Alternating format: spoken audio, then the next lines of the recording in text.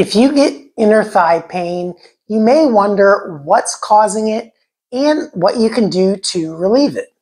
And that's exactly what I'm going to show you in this video. Whenever I evaluate a patient with inner thigh pain, or really any type of pain for that matter, I'm looking at basically four categories of different things. Number one, is it even a musculoskeletal problem? I'm a physical therapist, so for non-musculoskeletal things, people really don't belong in my clinic. And with inner thigh pain, there are some more serious considerations. For example, kidney stones, urinary tract infections, hernias, those can all cause inner thigh pain.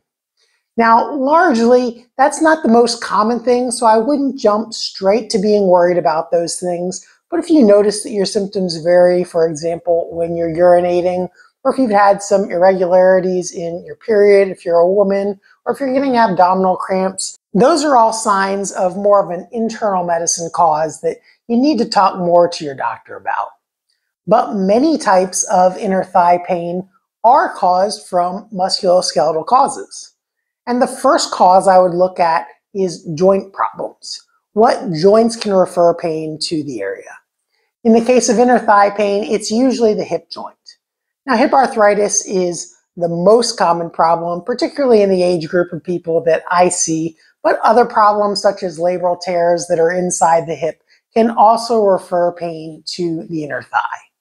Now, if you're having a hip joint problem, you'll probably notice the pain either when you're weight bearing, when you're bearing weight down on the actual hip joint, or at end ranges of motion, for example, end range flexion, adduction, and internal rotation. That puts the hip joint in the most compressed, compact, closed packed position.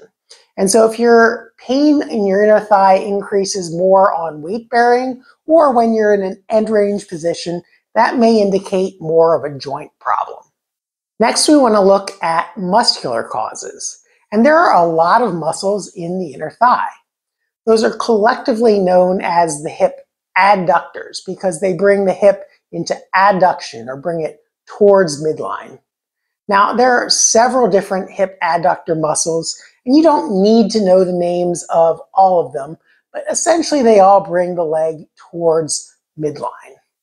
Now, if you have a muscle problem, you'll probably notice it either when you exert the muscle, for example, when you push inwards against force, or when you stretch the muscle to end range, when you bring the leg out to the side. Now it's worth noting that muscles can hurt because they're either overstretched or strained.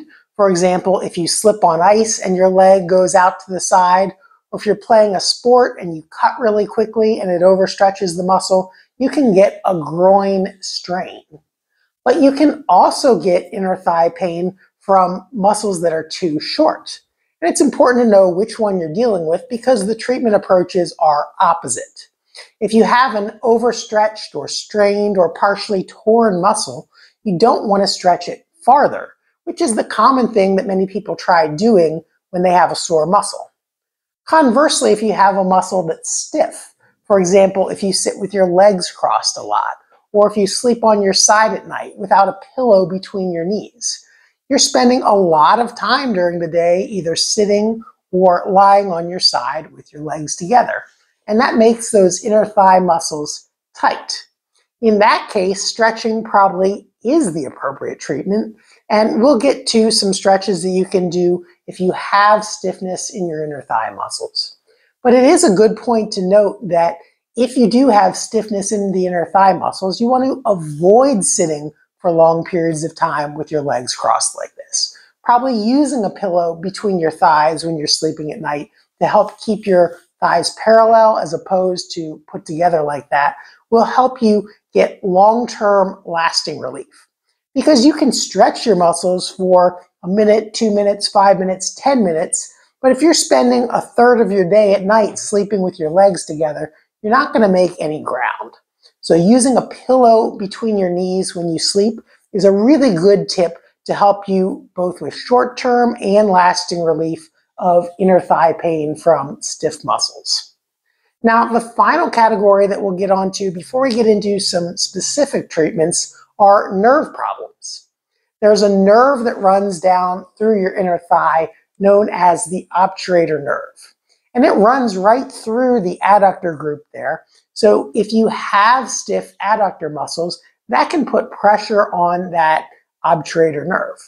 If you feel a burning pain on the inner thigh, or if you notice some numbness and tingling on the inner thigh, that may indicate a nerve problem. Additionally, that obturator nerve is made from the L2, L3, and L4 nerve roots in your lower back. And so it's also possible that if you have a pinched nerve in the upper to middle part of your lower back, that that can cause inner thigh pain. And so as you can see, there are many different things that can cause pain on your inner thigh. And it is important to get a proper diagnosis to figure out which one you're dealing with so you can get to the proper treatment approach. Now, I would say by far the most common things that I see are joint problems and muscle problems causing inner thigh pain. Hip arthritis and stiff trigger points, so the muscle being too short rather than being overstretched or strained. So we'll get into treatments for the muscular causes first because those are the easiest to address. Now, like I mentioned, you probably do want to avoid sitting with your legs crossed or sleeping without a pillow between your knees. So you want to put a pillow between your knees when you're sleeping. But it's also helpful to stretch out the inner thigh muscles. And here's one really easy exercise that you can do to stretch out the inner thigh muscles that works really well. You can do it without getting on the floor. So here's how you do it. Sit on a couch, a bed, a chair. You actually can do it sitting on the floor, but if you have trouble getting on the floor, then you can do it just as easily on a bed. You want to sit like this with your feet together and then push your elbows down into your knees. Now you can pull your feet in as far or not far as you feel comfortable going, but the farther in you pull, the greater a stretch it is going to be on your inner thighs. Then you want to use your elbows to kind of push your knees down towards the bed. Now this isn't going to be just a static stretch where you're pushing down because when you pull on tight muscles, they tend to fight back against you. And so we're going to use a neurological trick to get these muscles to relax. So you're going to push down with your elbows. Now push back in against your elbows with your knees. So you're going to push into your elbows, kind of holding an isometric resistance here for about five to 10 seconds. So you're actually contracting those stiff muscles. Now, after you do that, relax. And after you contract a muscle, it goes through a period of relaxation where it allows you to stretch it a little bit farther. That uses a principle known as autogenic inhibition, meaning that the muscle inhibits itself. So you press into your elbows using your thigh muscles, and then you relax, and then push them outwards farther using your elbows. Now, to help even further, you're going to use your glute muscles, your butt muscles, and try to actively pull your knees down towards the bed. And this activates your glute muscles and uses a principle known as reciprocal inhibition to make the inner thigh muscles relax. So when you contract your glutes, the adductors relax. And so you'll push down farther, contract your glutes to help pull the knees down towards the bed, and hold that about 10 seconds or so. Now push back into your elbows using your adductor muscles and hold that for 10 seconds. Relax, push down a little bit farther. Now use your glutes, your butt muscles, to pull the knees out towards the bed and hold that for about 10 seconds. And then push back in to your elbows. Hold that for about 10 seconds. Stretch down a little bit farther. And so you alternate back and forth between pushing, stretching, and pulling down towards the bed. And that helps you get progressively farther and farther down and stretch out those stiff inner thigh muscles. Now, another way you can stretch out your inner thigh muscles if you come up to standing is to lean out to the side like this. Now this isn't going to be a massive side lunge this way. You actually want to make this a little bit of an active stretch, just like the last one. And so rather than stretching out passively as far as you can possibly go, you want to push off of this leg. And so you're using your glute muscles again, using that reciprocal inhibition, activating the glutes, inhibiting the adductors, holding for about 10 seconds, and then relaxing. Spread out a little bit farther, push using your glutes, hold for about 10 seconds, back off, slide out a little farther, push off. And so you're stretching and strengthening at the same time. And that's really important because if you have stiff inner thigh muscles, it's going to make your glutes weaker. And if you have weak glutes, it's going to make your inner thigh muscles stiffer. So they work kind of hand in hand, and you want to work on both of them at the same time. Now, another really great exercise that you can use to actively stretch your adductors and strengthen your glutes at the same time is known as the horse stance. Now, this is a little bit more advanced exercise. This one may not be for everyone, but if it's not for you, hang in there because I've got a modification that I'll show you. So for this one, you want to start out slightly wider than shoulders width apart, and then go down into a little bit of a squat. Now you want to think about driving your knees out that way and sink down as low as you can comfortably. The ideal is to get to parallel here, but some people can't get that far and that's okay.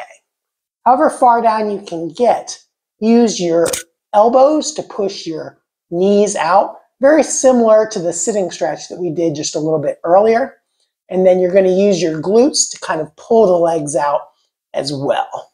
Now this is an active stretch, but it is a little bit harder. It's not for everyone. And if you're someone who thinks that, gosh, I couldn't do that, I would get stuck down there, that's okay. I've got a modification for you. And I'll show that to you right now. For the modified version of the horse stance, you just want to sit on a chair and straddle the back of the chair. Then put your feet on the ground. You're going to push your heels down into the ground just as if you were squatting and then drive your knees out a little bit farther. So you're still using your glute muscles actively and you're stretching your inner thigh muscles while you're strengthening your glutes.